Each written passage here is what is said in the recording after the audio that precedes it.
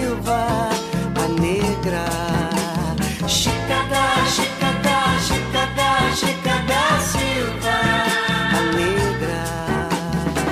A imperatriz do Tijuco, a dona de Diamantina, morava com a sua corte, cercada de belas mucamas, num castelo na chácara da de arquitetura sólida e requintada,